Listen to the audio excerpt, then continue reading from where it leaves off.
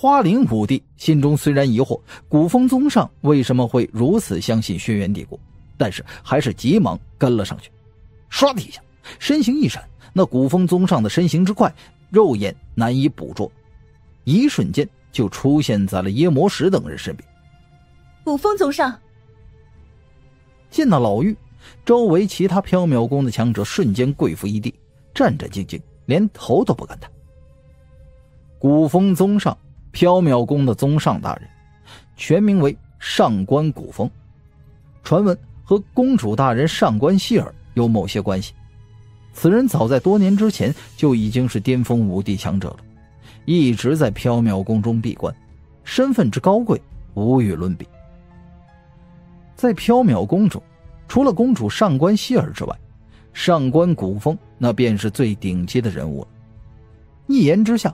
花灵武帝这样的副公主都必须听从他的意见，不能有任何的反驳。古风宗上，你来了。相比其他缥缈宫弟子，真空等一魔族人却是没有跪下，只是语气中也带着一些忌惮。古风宗上，上官古风。前方区域中，秦晨感知到了上官古风的出现，目光却一下子冷了下来。竟然是他！陈少，你认识此人？幽千雪和姬如月第一时间看了过来。哼，上官古风，上官希儿的姑姑，上官家的千金。秦晨冷笑：“上官希儿的姑姑，陈少，你没说错吧？”幽千雪和姬如月眼珠子瞪圆了：“上官希儿的姑姑。”缥缈宫公主上官希儿居然还有一个姑姑。天武大陆可从来没有人说过上官希儿还有个姑姑。上官希儿的确有个姑姑，而且还是亲姑姑。秦晨冷笑道：“前世上官希儿的姑姑上官古风并不看好秦晨，曾经几次想要阻止上官希儿和秦晨之间的事情，但是后来不知为何又答应了。”现在想来，或许当初上官古风知道一些内容也不一定。没想到三百年的时间过去了，这上官古风还活着，而且成为了缥缈宫的宗上。不过，秦晨能感受得到，这上官古风的修为极其可怕。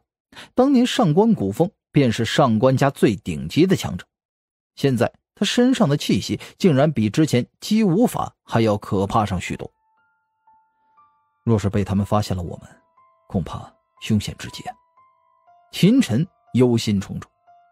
姬如月和幽千雪本来还想询问秦晨有关上官古风的事情，可看到了秦晨如此凝重的表情，两个人顿时不说话了，因为他们都清楚现在的秦晨承受了何等可怕的压力。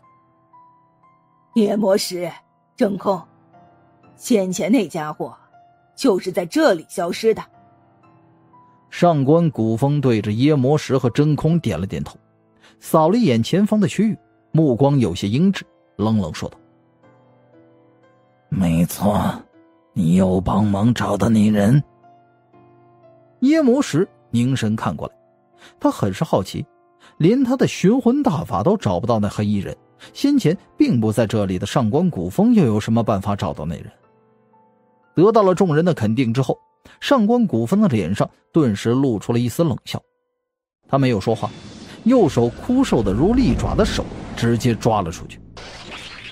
只见到前方的一片区域中，陡然的被抓起了一片虚空，一道道规则之力闪烁着，竟然是化作了一个镜面一般的虚空，并且在上面。缓缓的出现了一个图案，一个斗篷人出现在了画面中，并且在飞速的逃窜着，而在他的身后，一群缥缈宫强者正在飞速的跟踪，紧追不舍。这是先前我们追踪那黑衣人的场景，怎么会出现在这镜面中啊？天哪，先前的画面全部展示出来了，这是什么手段啊？一道道震耳欲聋的议论声响起，所有人一瞬间惊呆了。只见到上官古风不断的催动规则，那镜面之上将众人先前追踪秦晨的画面原原本本的展现了出来，每一个角度都无比的清晰，让人不得不震惊，不得不骇然。时间规则，难道这就是传说中的时间规则？有缥缈宫的弟子惊呼，骇然出声，心中狂震不已。这种将过去的场景重新展现出来的现象，难道是传说中的时间规则吗？这个猜测一出，再度引起了无数的道心冷气的震撼之声。时间规则，五帝强者修炼规则，因此对于规则之力，每一个武帝都十分的了解。天地运转，可分多种规则，其中时空规则是最基本的规则。任何一个世界可以没有其他规则。但是时空规则一定存在，而时空规则中，空间规则比较容易。武者在五皇境界便可以感知空间奥义，学习空间的运用，这属于空间规则最基本的运用之术。而到了九天五地的境界，五帝强者甚至能够穿梭虚空，可以说任何一个五帝的强者对空间规则都会有一些感悟的。当然。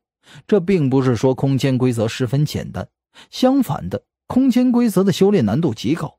想要真正的掌控空间规则，至少要到后期级别的五帝巨擘才能做到。可以说，空间规则已经是诸多规则中极其困难的一种了，属于大道。可和时间规则一比啊，空间规则便跟小孩子过家家一样简单了。时间规则那是禁忌的领域。传闻之中，天武大陆上还没有人真正的掌控时间规则呢。一旦有人掌控了时间规则，那绝对是极其逆天的存在。想想看，同样的强者，一个人只能影响空间，而另一个人却可以影响时间的流速，这又是何等的可怕！甚至对方可以扭转时间，超越古今，这简直就是逆天一般的存在！可以先立于不败之地。无可匹敌。当然，也并非从来没有人掌握过时间规则。在天武大陆源远流长的历史之中，也曾有人触摸到过时间规则的一丝奥妙。这甚至都不算是领悟了规则，只能算是领悟了一丝奥义。而这样的强者，无论在大陆的哪一段历史中，都最终成为了惊才绝艳的存在。这也是时间规则的可怕缘故。不过，这些强者的时间奥义和规则都不是靠自己修炼出来的。时间规则属于禁忌领域，根本是无法凭空修炼成功的。历史上那些能够触摸时间规则的人，往往都是通过一些宝物或者是血脉才能够得以领悟的。比如，有一些人的血脉和时间有关。便有那么极其稀少的亿万分之一的机会领悟一丝时间奥义或者规则，但是也只有那么一丝而已，只能用作来秘法施展出来，很难当成真正的杀招。可即便是如此，也已经强的可怕了。而如今上官古风竟然回溯出了先前发生的场景，天！难道上官古风宗上居然掌握了一丝时间和奥义的规则吗？就连耶魔石和真空也是大吃一惊。时间规则在这一魔大陆也是禁忌的存在，即便是魔主大人也不可能掌握的。不对，不是时间规则，这只是一种追溯之法。忽然。耶魔石似乎看出了些什么，灵魂力扫了又扫，忽然吐了口气。他第一个看出了，这并非是什么时间回溯，而是上官古风施展了某种秘法，利用了这天地间残留的一丝气息，进行了场景重现。呃，的确不是时间规则。真空也看出了端倪，松了口气。真是的。差点快吓死魔了。缥缈宫的众人听到这话，却纷纷的有些失落。原来不是时间规则，害得他们白激动一场。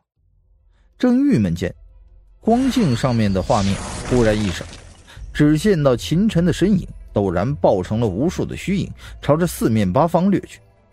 这些虚影每一道都十分的真实，栩栩如生，无论是气血还是真元，都极其的恐怖，根本就看不出来孰真孰假。竟然真是虚空分影诀！上官古风目光一下子瞪圆了，不可能，怎么会是轩辕帝国？这怎么可能呢？上官古风喃喃，心生狂震，仿佛看到了什么难以置信的东西一般。他很清楚，上官希儿和轩辕大帝之间表面上的是分裂的，一切都是虚假的。双方在暗地里这三百年从来没有中断过合作。怎么不可能是轩辕帝国？古风宗上，你也看到了，先前那人施展的身法，的确是轩辕大帝的虚空飞影诀。此身法，乃是轩辕大帝的不传之秘，能修炼的，必然是轩辕帝国中最重要的人物。除了轩辕帝国，还有谁能修炼这等秘法？华灵武帝来到近前，再一次看到了虚空分影诀，他身上。爆发出来的怒意更是，冷冷道：“更何况，如今轩辕帝国正在针对我缥缈宫和执法殿，他们什么事干不出来？”轩辕帝国针对我缥缈宫和执法殿，到底是怎么回事？上官古风脸色一变，连续问道：“古风宗上，你这些天一直在闭死关，因此……”不知道情况，花灵武帝连将这些天的事情原原本本的说了说来。上官古风再一次呆滞住了。轩辕帝国竟然会对墨家下了死手，差点将执法殿几大高层之一的墨家彻底覆灭，几乎连异魔族都暴露出来了，这怎么可能呢？轩辕帝国到底在搞什么鬼？上官古风暗怒。当年轩辕大帝和上官希儿勾结除掉秦尘的事情，他也知道，甚至还是一手策划者之一。对轩辕大帝，他可是十分看好和满意的。当年在风少羽和秦尘之间，他就看中的是风少羽，对秦尘十分可谓不满。因为啊，秦尘不管在大陆的地位再高，他的肺脉注定了他一辈子只能是一个巅峰武皇，连武帝。都不是的大事，众人平素里面的确是会供着的，可若真正发起狠来，直接囚禁了，替自己办事也不一定啊。这是一个强者为尊的世界，只有实力才是永恒唯一。哼，到身来看看，此人到底是谁，躲在了哪里？上官古风冷哼着，继续催动着秘法，顿时。光影之上的场景加速，一道道身影纷纷被光镜收纳到了其中，一点一点的分析。眼看就要追溯到清晨消失的时候了，突然，啪的一声，镜面之中一片灰白，全部画面都消失了。发生什么了？哎，怎么没画面了？那家伙人呢？古风宗上，众人正看到高潮的时候。结果画面没了，顿时焦急不已，纷纷的看向上官古风。上官古风的脸色微变，他再度催动秘法，画面再次出现，可还是没出现片刻，画面又一次消失了。上官古风的脸色露出了难看之色，他连连催动秘法，但不管催动几次，画面都会在一瞬间消失。而且伴随着他秘法的频频催动，外界残留下来的气息被消耗，那画面也越来越模糊，到最后是根本显示不出来了。乾坤造化玉蝶之中，秦晨本来已经紧张的浑身冒汗了，看到这一幕，这才松了一口气。可是心头却依然有着疑惑。这时，老袁的声音响了起来，带着嘲讽和惬意：“嘿嘿嘿嘿。”一个小小的追溯秘法而已，也想追踪到乾坤造化玉蝶的画面。此玉蝶乃是真正的远古人族至宝，除非呃，此人真能掌控禁忌领域的时间规则。光凭这气息追溯的法则，也想追溯到乾坤造化玉蝶的里面的画面啊！真是天真。